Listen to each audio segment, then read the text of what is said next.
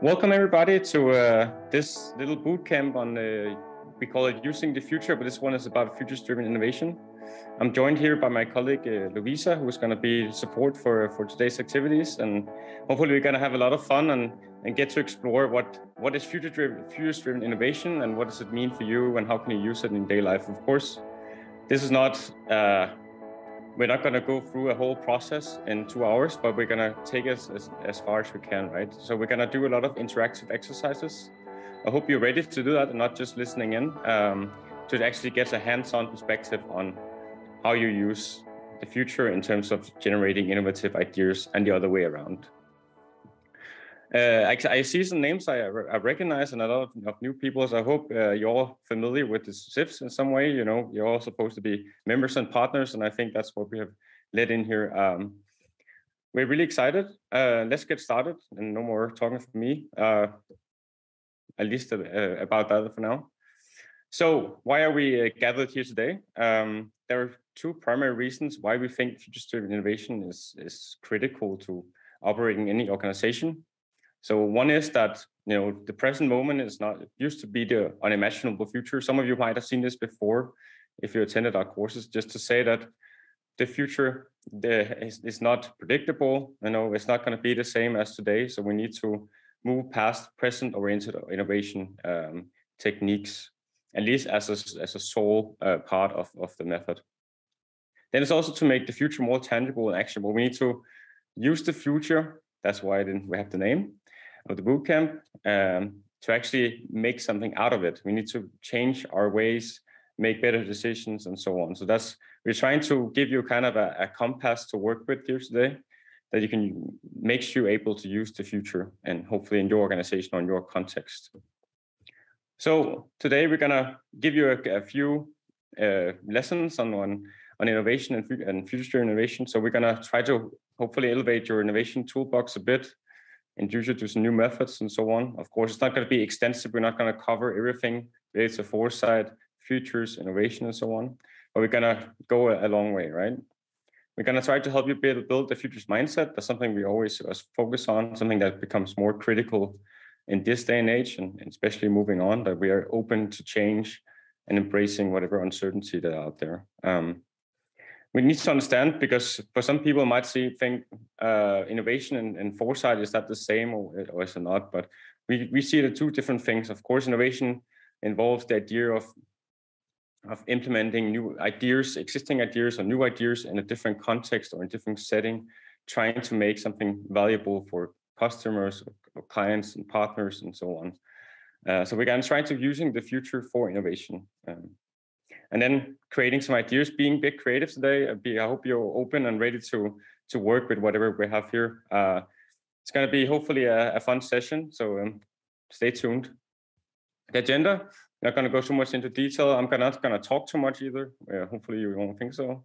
We're just going to have a few short uh, introductions into what is foresight and future studies uh, for those who are or futures thinking, those who are not familiar with the concepts. Going to do some exercises catch up a bit in plenary. What did you think about exploring the future and identifying what is most critical? Then we're going to move into actual future-driven innovation and see if we can generate some cool concepts.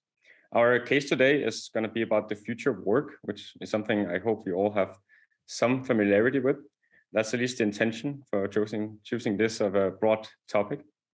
So in the end, we're going to have some cool innovation concepts, and hopefully you can you can pitch them in. We have a bit of time to wrap up and and, and answer questions and so on. Great. All right. So you're all here today because I hope you want to uh, learn something. I also want to learn something working with you. So it goes both ways. Uh, we have this quote that we love to use about how in times of change, which we're in right now, the learners will inherit the world, while the knowers will be beautifully equipped for a world that no longer exists. So we don't try to be knowers. We don't need to know it all. And we need to embrace that there is some uncertainty and instead be open-minded, ready to learn, and so on. Also, in terms of rules of engagement, uh, we would like for you to be active in this workshop in the group. So please put on your camera when you work in the group work and and so on, and don't try to disturb the, the rest of the group. And I think we're gonna have a fun time together. Maybe you'll meet some new cool people as well. So that's a, a side effect. so this is uh, more or less our conceptual way of, of doing future-driven innovation, at least one of them. Uh, what we try to do first in every single process we, we deal with is try to explore the future. Uh, it can be scanning, we can look at signals, drivers, blockers, create scenarios, and so on. Um, that's usually a bigger part when we do uh, our Copenhagen method, uh, which is more focused on creating strategy, unique initiatives in the end. Then what we are focusing on future innovation is what are the most critical issues, what are the most critical change dynamics that is, is around us today. Um, so actually seeing it, not just looking at, you know, what are the latest trends, but also what are the barriers to change, what are some of the signals out there that we're not really grasping yet that might offer some some space for innovation uh, eventually. Then we look to identify what are the opportunities out there, what are the what are the problems we have, what are the problems our stakeholders, clients, and so on have. Um, and based on those key uh, problems, we identify key pains and gains. Um, we try to create and test out solutions, right? We try to to create prototypes or ideas. Today we're going to ideate uh, a bit. We're not going to develop physical prototypes. Um, but that's a, that's at least an option and a pathway you can go for. And then, of course, in a in an innovation process, it's um, it's important that you don't just leave it there. That you actually plan ahead. What are we actually going to do with this concept, these ideas? Again, testing, iterating, and so on, making it ready for the market or the internal organization or so on. Great. Um, so, um, in terms of futures thinking, uh, some of you might have heard about the butterfly effect. You know, uh, how how kind of the small changes in the, waving of a butterfly with the with its wings can make big changes in the end. Um, and that's what we hear, of course, also today. You know, sometimes the future is not predictable. We can't um, can't just say, okay, 10 years from now we'll be there and there, and we will do this and this. Uh, we need to be open to uncertainty or and open to the small changes that's taken place that might lead to a bigger change down the line. So that's what futures thinking is about. Try to embrace change, and be open-minded, looking from the future into the present, not the other way, other way around. Try to put ourselves in a different mind space and see if we can reframe some of our assumptions and ideas about how the future could look. Um, so right now, just to get you started thinking, I, I don't need an answer, but I want you to just take one minute to silently reflect well, how do you react to change? So for example when a large thing happened at work or in your life and so on how do you respond to change? Um, what is the last time something happened? What how, how did you do it and has it changed over time? So just take uh, one minute so some people have a more have a very um, have a mindset with very much agency. You, know, you can change the way uh, the world looks. You can change the way around you. Sometimes something is out of your control so you try to focus on it what's inside your control and that's we're, we're trying both today trying to be open to what we can't control and try to look at it with an open mind and then also try to see what can we actually make today that can might fit into the, the future down the line. So in terms of futures thinking so why should we study the future so why why does uh, the copenhagen institute for future studies exist um, uh, we see the future as a multiple. We're not, we don't see it as a linear uh, curve. So we're just moving from the present to the future, and there's a straight line. Um, we see it as a, a path, like different pathways, potential pathways, depending on what we do today and tomorrow and so on. We want to use it to challenge mental models and try to refresh our assumptions about the future that might be a bit stale or obsolete. Uh, try to overcome thinking in short term all the time, operations, operations uh, next week and so on. As I said, we want to learn about the present through the lens of the future. So we try to put ourselves in the future and think about the present. And then we also is for also for thinking across uh, industry specters and so on. Then futures become very helpful uh, because a lot of changes are happening all the time in our environment. Uh, sometimes the biggest changes might come from outside what you expect, and that's why we need to think in the larger systems that we see in society and not just isolated and focusing on our narrow path. Um, also, I guess uh, you kind of deserve to know who I am if you haven't uh, met me yet. Um, I'm the head of memberships and partnerships at uh, CIFS. my name is Mathias Bjørnhof. Um, and I, I, I, came come from a background in innovation entrepreneurship. And have been kind of using it in my work here at CIFS, trying to to bridge the, the gap that I saw in, in kind of between innovation and, and futures in some ways. Uh, so what definitions are we using for different things? Right? There, you already heard a lot of concepts. It might be a bit confusing already, but so strategic foresight is what we do a lot as CIFS. We try to plan for the future based on different kind of mindsets, methodologies, um, and the many factors that shape the world. Futures thinking is more about the mindsets, the cognitive processes, the, the biases we have, trying to put ourselves in different state of mind. Innovation is about you know finding and bringing new ideas to life. Uh, it might not be radical, all of it, but uh, sometimes it is, and and that's what we're also hoping to do eventually, create some positive change down the line. And that what it says, radical innovation, trying to actually completely shift the the the discussion, you know, was also called dis disruption, disrupting the the status quo, completely changing the way society works. We've seen that a number of times. It's very difficult to to create, but it's of course very effective when it works. Um, and we need to to kind of aim for sometimes also creating disruptive and not just uh, incremental change in our societies, because otherwise we'll just slowly, slowly optimize, optimize, optimize, and and never maybe shift to a whole smarter way of living or working and so on. So in terms of futures, uh, we to use this futures cone where we look into different alternative futures. We have the possible, what might happen. We have the plausible, what could happen, what's more plausible in the sense of the word. And then we have the probable, what's likely to happen. Um, the trends we're seeing around us in society, the straight line that we're talking about my colleague uh, Simon Østergaard, he uh, he talked. We, we had a discussion a couple of days ago around is the probable future actually the least probable because that's the one where everything remains the same. And I think that's a very interesting thing to play around with because we all, all expect certain things to happen, but the more we expect them to happen, the more we lock ourselves in, in a state of mind, and then we don't become prepared for what's outside. And of course, then we have the preferable future, whatever we assigning our own value judgment would like to happen. Uh, we focus in this uh, setting very much on both the possible and the plausible. Try to be think a bit outside the box, and you know who might, as as I said at first, the the present used to be an unimaginable future. So what what the future might be might be unimaginable now, but we try we can try already uh, our hands with it. And for example, this shows that it's not just we're not just looking at technology or you know uh, some of the classic things that you might think, oh yeah, we're gonna be at one with robots and so on. Uh, knowledge and behavior change over time as well, very important. Social change. So it's not really something to, to strive for anymore that you can supply enough energy to melt 7 million tons of glacier. But at some point it was, and at some point it was something people were proud of. Um, so it's just to say that we we move along and with our, our social circumstances change along with, with our societies, right? To become a better futures thinker, or at least open up, there's a, some things you can, there's a checklist or some things you can work on, at least try to seek diversity of opinion, try to look for what's out there, but not really mainstream yet. Try to acknowledge that you have some biases. Everyone has, I have as well.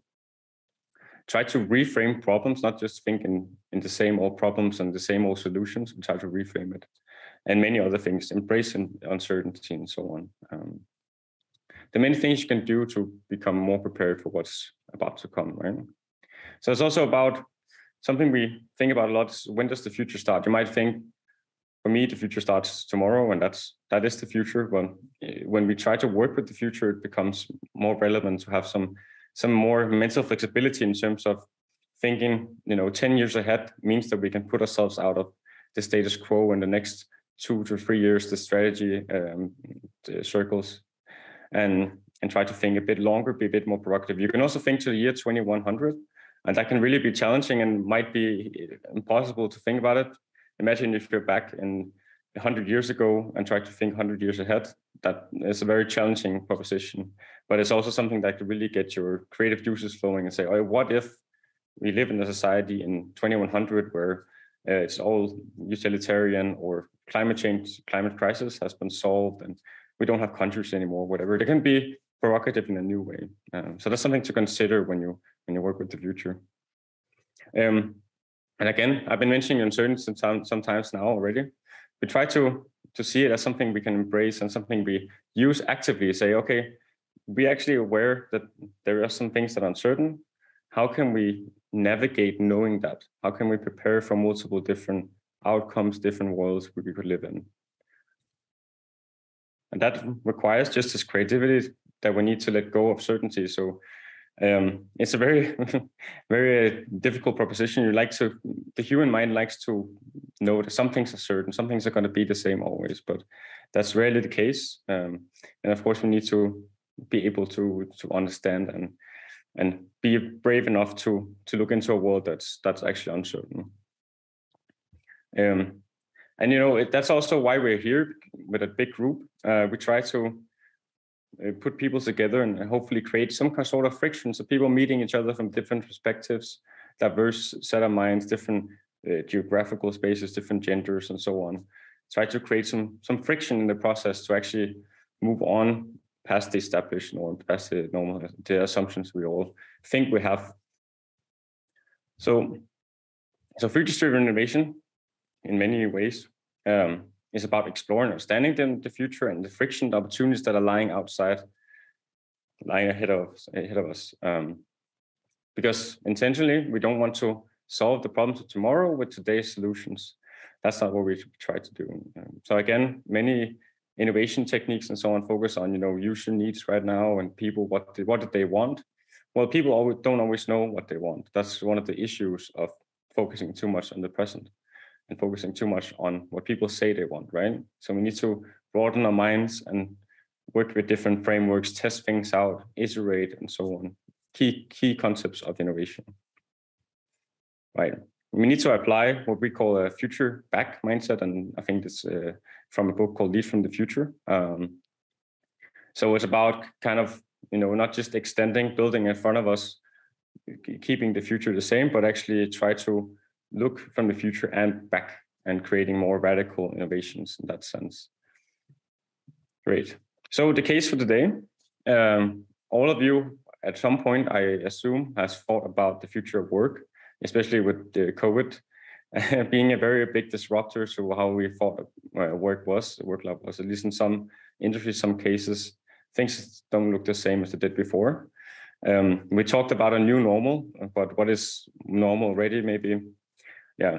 Um, so I've, we have chosen this case purposely to have something that you all have in common. Hopefully, in, in some way, you all have tried to work or are working. So it's a very broad theme, but it's still we try to to focus on something, right? Um, so some of the key questions we're going to look at today, like how is technology going to continue to transform the workforce, the way we work, the way we live, and so on, and what are critical skills to have in the future, also both for both for employees, but also for employers, leaders, um, and so on. And what are the impact of demographic shifts?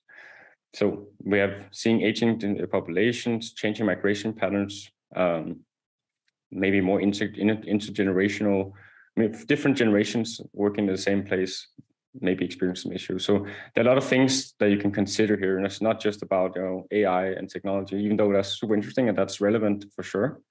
You can go into different areas. Right. So now we're going to try to explore the future. We're going to put you in different groups. Um, and then we're going to let you work a bit. Um, hopefully, the, we have created a Miro board. Hopefully, it's very intuitive. I, uh, I think Louisa will share the link in, in a moment uh, with you guys. I'm just going to present the exercises we're going to take you through. Um, but in general, exploring the future can be done in many ways. We can look at change dynamics, drivers, enablers, what is driving change, what is blocking change. With the future wheel, what are the implications of certain trends or events? We can look at the future triangle, what are the push from the present, what is kind of pushing change, what is uh, out there in the future pulling us towards a certain future, and what is weighing us down or kind of holding us to the way things are. So we have causal layered analysis. That's more about uncovering assumptions and biases deep within us and organizations. Um, we have horizon scanning, you know, looking to the horizon to see what are the things happening out there. We have environmental scanning, trying to look in the present day, what are the things happening right now. We can do scenario planning, building future scenarios. Um, that's something we do a lot here at the Copenhagen Institute for Future Studies. And then there's also the more speculative approaches where you can set yourself free from kind of what we deem as a plausible possible future and be more challenging and say what if this happened then this might happen or challenge challenging what's actually uh, possible so we have some exercise today i would say you know I've heard from my colleagues a bit a few times. You know, we've just been discussing this that less is more. We, there might you might be busy throughout these exercises, but I hope you will find it fun. It's more of a sprint than it's actually you know like a thorough, uh, full-on process. So I hope you will enjoy it and and really learn something from it. Um, even though it's gonna be a bit fast. So before we start in your groups, so you're gonna be divided in groups in a moment. Gonna have uh, elevator pitch introductions. Just introduce yourself you know, it's weird to start group work without saying, "Hey, I'm my name is Mathias," like I just did uh, today. But but you have 30 seconds to share each of you. What is what is your role? What do you do for living? And what's your biggest passion? Doesn't have to be in work relation.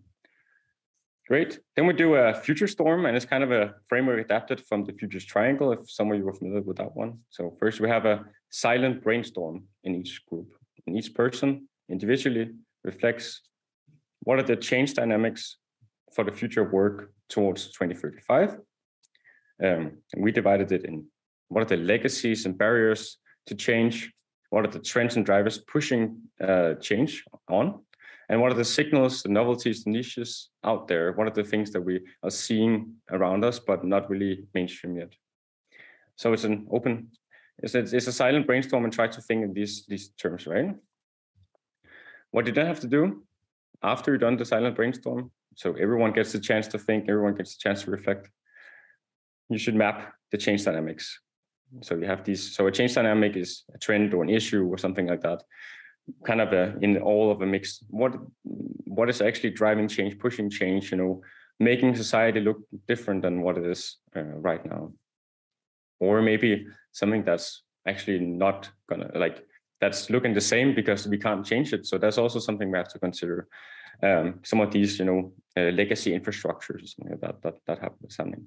So introduce yourself, a silent brainstorm, think about uh, change dynamics, then you should map it. There's a map uh, in the Miro board and the instructions are also in there if you need them.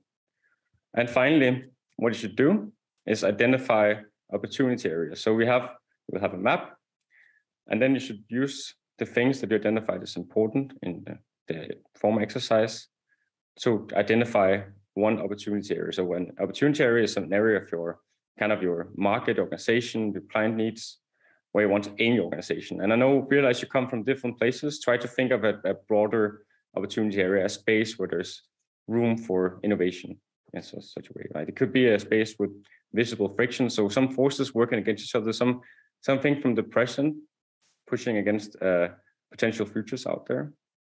It could also be just there's an opportunity area. We see something happening, taking off with rapid speed, um, change dynamic, you know, a, trend or so on. Is there any opportunity area out there in 2035 that is underdeveloped that we need to focus on? So that's what an opportunity area is. It could also be a problem that you're trying to solve. Um,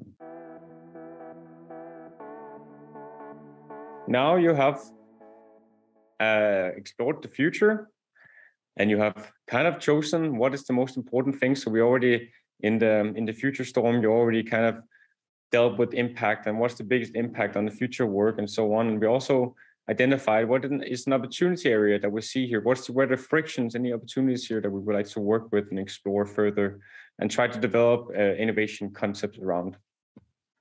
So now we're going to bridge the gap between the future and, and innovation in that sense. All right.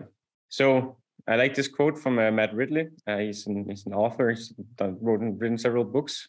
So innovation happens when people are free to think, experiment, and speculate. So it's all a big experimentation uh, experiment in that sense. We are trying to to play a bit and try to see around what what are lying out there, and that's what the future is great for. So we can imagine what could happen and not just be limited by the like boundaries of our present in that sense.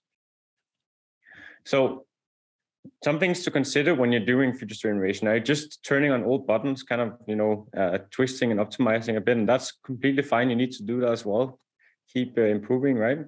Or do you manage to actually think out of the box, the very uh, tried and tested uh, wording of trying to think outside of the box, doing radical innovation? um, I think what the future can help you do is help you to do is try to say, okay, let's speculate. What if this happened? Then we can actually create something completely new, free from from what we have today.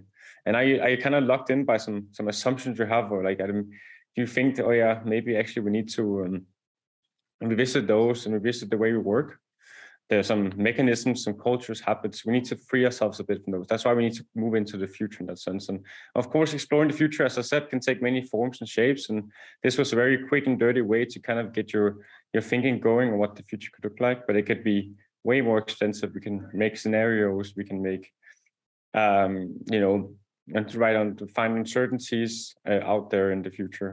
So this is a, as I already have done, uh, we have a few, maybe it's a bit unjust. Uh, so we want to combine, you know, exploring the future with the knowledge and experience we have today, not only investigating the, the recent past and, and the present, but actually focusing on, on the future as well, exploring that. So innovation is a, is a function. There are many different definitions of innovation. Um, but it basically it's in, in ways it's a function of thinking your intellectual abilities knowledge we need to know some things to kind of innovate better maybe we know something from a different industry that can be applied in your in your industry and maybe you can find new ways of matching things right you need to have, be creative you need to yeah, think outside of the box and kind of maybe you can step outside your own environment for a while uh, try something new you know get some new impressions new inspiration and as I said, we can base it on many different things. You know, the futures we expect to happen, or the customer needs we we think we foresee in the future, and so on. Technological elements: what is the potential of AI, and how can it uh, completely shatter uh, how we work, uh, or change it, or maybe it doesn't. You know, looking into those kind of questions. So uh, I like this uh, little cartoon here. Uh, your proposal is innovative. Unfortunately, we won't be able to use it because we never tried something like that before. I think that's very telling about how things work uh, outside. Also, when we approach people talking about the future, uh, you know, yeah, it sounds very interesting, and it's probably you're thinking in new ways, but we haven't really done it before, so we don't know if there's any benefit to it. So it's become disregarded in that sense.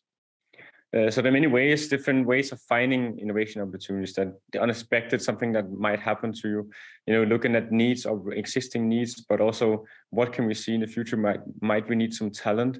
What can we do to kind of uh, make ourselves more appealing for that talent? You know, demographics, as we mentioned, changes in behavior, which is very difficult to predict or at least, you know, expect to predict, but there are some things we can see, some some certainties in some of our ways of dealing as human beings that that are kind of similar. And of course, breakthrough. You know, uh, scan the environment, see what's out there. Uh, sometimes it's there's something completely new. You know, many people were already kind of caught up with you know AI and and chatbots and so on, but it still has surprised a lot of experts what the impact it has left. And you know, now we're kind of at the at the peak of the hype curve, maybe and looking to see where we're, we will take it from here.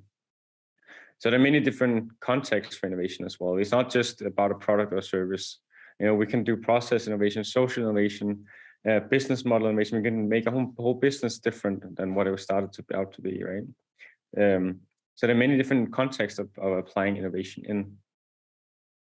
Um, some a classic framework within design thinking is kind of the the Osterwalder um, the business model generation, you're looking for pains and gains and so on. And I think it's it's still very valid and it's something you can also explore in a future context. What are the future pains or problems that our stakeholders or clients have? What are the future uh, kind of you know jobs that they need to do in a different reality? What they need to solve, or or how can we make them make their lives or their circumstances even better, right? So what we're trying to do is kind of fit uh, the problem with a solution. So we try to identify, and that's what you're going to do as well. Um, in this opportunity area that we kind of identified, we need to find out what are the stakeholders. So we need to identify a stakeholder, right? What are their jobs? What do they need to do? Uh, what are the pains? And what are the, is they're struggling with? You know, the problems they have, and what are the gains? What are the things that can enhance uh, the situation? Um, so that's something we need to identify now. It, and remember to base it off what you've already done, the exercise already done, all the dynamics you've seen. We're not we're not stuck here in 2023. We're looking into the future and, and seeing what could happen, what could be the potential future uh, pains, gains, and jobs, right? Um, so what is value? So innovation is about creating value and then and value is a very, you know, uh, it's used in many different ways, but basically about, you know, making your stakeholder or your target doing something better uh, in different ways, you know, improving the circumstances, like removing a, a problem that's been hassling them. So a lot of people think, you know, yeah, let's give a product and then see how they use it, but we actually want a solution rather than a product or a service necessarily. What what is it about what you have uh, proposing that will help their lives improve? Or it's a very big word. It could also be a small thing, right? But it's about looking for the needs, not the tools for the needs, right? So for those of you not familiar, this is again the, the framework we're looking for for uh, gains. What are the outcomes you want? There's your stakeholder. So stakeholder can be many things again. Want to achieve, or what are the benefits they're seeking? Uh, considering this future, these futures that we're investigating. Uh, what are they trying to get done? What are the unmet needs? What are the things that they actually need to do in this these futures? And what are the problems, the obstacles they're facing, right? Um, right. And something that's very true when in, and a real paradox innovation that people, you know, they're in the first phase that we just came with uh, or started, and you know, we explored the future. It's very, it's easier to be outside the box, you know. But now when we want to, we want to generate ideas and so on based on the opportunity area it's also important that we try to steer clear of the of the classic examples. And of course we have limited time but just try to say well how can i challenge it one step further? What are the second order effects the third order effects of what i'm uh, seeing here? Um, not just picking the the business as usual uh, classic idea but maybe try to provoke yourself and like provoke each other a bit in the group discussions. So to do this, we have we think it's it's quite necessary. We know you're coming from different organizations, very very different organizations. So what we need to do is make a very, very simple archetype of an organization that you're in each group that you're working with. So you have to identify which type of organization are you, where you operating in, um, what region, and so on. There's an ad lib, so like a, a framework in the Miro board as well to work. So just take five minutes, very like short it doesn't have to be very, you don't have to write a whole story about the company history and so on. Just very simple uh, basics. That makes it easier for then identify a primary stakeholder. So let's say you're you're a, a bank, and what you want to do is you want to innovate for your employees. Then that's your primary stakeholder in this opportunity area you've chosen. Uh, there are some examples in there as well, as well with the as you saw with the opportunity areas. It could be that you identify there are intergenerational conflicts and their AI coming with full steam, right?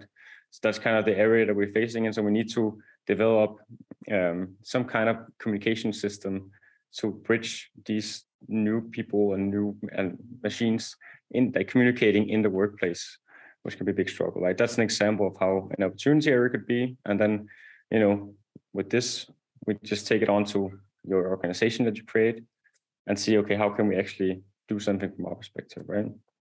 So what you need to do with the stakeholder you have identified, you need to find out what do they need to accomplish in this future based on the change dynamics, what can enhance the situation, and what can what are the problems they would like to have solved. Um, that's uh, we have 10 minutes to that. So again, it's, it's quick and quick and dirty, and we're trying to get through some different tools and, and so on to, to get you to see how it works in, in reality. Of course, it will be longer, right? And then after that, after we identified, and again, there descriptions in the Miro board, we need to ideate, right? We need to come up with ideas, and it's good to be crazy and try to think outside the box. How can we do things in a different way? Again, looking at what we already explored, is anything here that you know just fits in some ways, right? Uh, try to build each other's ideas and try to come up with a lot of different ones, right? Uh, the more the better. Don't don't think too long about each idea. Just put them out there. Right so that's the ideas are based on everything you've done so far the future storm the opportunity areas identified and the pains gains and jobs of the stakeholder and finally and i know there's there's a lot of exercises here uh, what we need i i have we have decided to um, to prioritize rigor or uh, you know um, doing very few things and then not doing a everything that we think is necessary in a in a futures-driven innovation project process. So finally, we need to develop one innovation concept. So that's an idea that's turning into more than an idea, you know, a, a whole concept.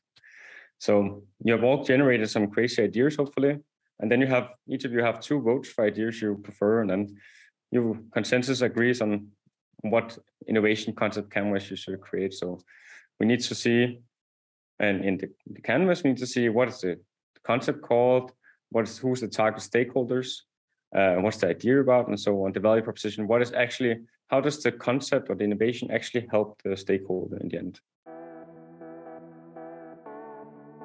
I would like to hear if any of the groups would like to pitch their uh, their innovation concept just very quickly. Just 30 seconds, one minute. I think there's some great ideas up there.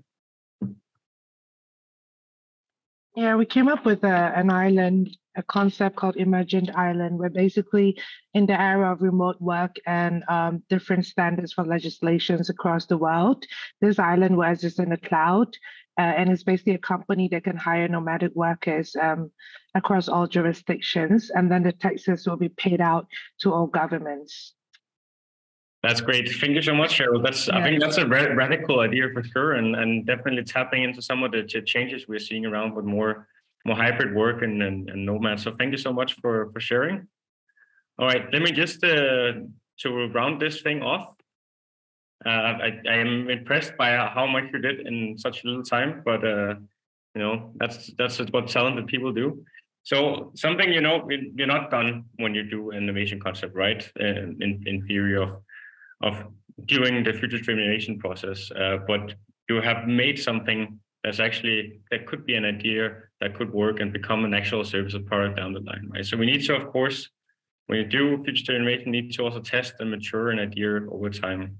Uh, we don't have time to go full in on testing and everything, but I, I, want to show you a few frameworks of how that could be done. And I'll, I'll, of course share the slides with you afterwards so you can check out more. A way to do it is to um, I've just made these uh, scenarios in ChatGPT, and it took me maybe two minutes, and I also had some descriptions and so on. Uh, I'll share those as well in the slide deck. Uh, basically, what you can do is that you can test up your, you can make scenarios uh, through whichever process, maybe the one we use at, at CIFS or another one, and then you can test your innovation ideas against different uh, scenarios and see, okay, does it does it make sense in all the different alternative worlds that we're creating? Does it make sense to make a this kind of island, for example, or is there any of the scenarios where we need to adjust the idea a bit? Then there's the how now wow matrix. I love the, the name of it, but basically that's to see in terms of how what can we do already, what is easy to implement, uh, what's impactful, and so on. An assessment of that. What are actually the innovative breakthrough ideas that are easy to implement? Uh, a way of prioritizing uh, ideas and concepts. And there's also a way of bringing it to life, creating user stories or future user stories. So what is the day in the life of a user in your scenario or the stakeholder you chose? I saw someone chose a CEO, someone else chose a HR department. So trying to bring it to life and kind of make sense of what is going on. Interviewing people, of course, in the present, also as a complement to whatever future scenarios or future changes that might happen. And then finally, of course, it's not super relevant for you because I don't know how many of you work with the future of work in your daily life, but it's just to say that to make it, we need to make it, make it stick. So innovation um, process is only as good as what we get out of it, right? We we can get a lot of ideas, inspiration, so on, but it would be great if we can turn it into action. So always a way of doing it is we use this strategic choice cascade, cascade quite a lot for strategy. It can also be used for for innovation concepts. So identifying exactly what is needed to make it come alive. What are the things we need to do? What are the things we need to focus on? Assigning responsibilities, of course, investing time, and and there's a whole aspect of uh, you know culture eats ready for breakfast. So making the idea stick in the organization, that's of course a, a challenging effort. Yeah, but at least we're some of the way, right? Um, that was uh, more or less it. I hope you you had a lot of fun, even though I I'm gonna stay stick around for uh, Q and A. I realize in the interest of time, we don't have uh, too much time to go into detail, but anything else, and you can send me an email uh, anytime. Um, I'll also share that in the in the uh, email afterwards with the slide deck and the link to the Miro board and so on, uh, the recording as well. Um, so you can check out the website for more. Uh, I know we have some future seminars that are interesting. We'll do this again in the fall with different um, toolbox. So if you if you have some ideas, some feedback, if you want anything different, this was the first time. Is anything want different? Maybe a few exercises that could be an option, or if you want to focus on a specific uh, toolbox, let us know. We're open to it. You're our members and partners, so we appreciate you very much and your ideas. Um, great. Just in a few examples of what we have done. We have been looking into what it means to be ambidextrous in innovation, doing both radical and incremental innovation. We try to make an innovation blueprint for the future of retail uh, for uh, IKEA centers, making scenarios and see how we can futures inform that, and trying to find new pathways using megatrends and new opportunities in that sense. So that's some of the cases. All right, that was uh, all for now, and I can. I hope you uh, enjoyed the session, and if anyone has any questions, feel free to stick around, and and we'll be here for uh, a moment as well. So, thank you so much.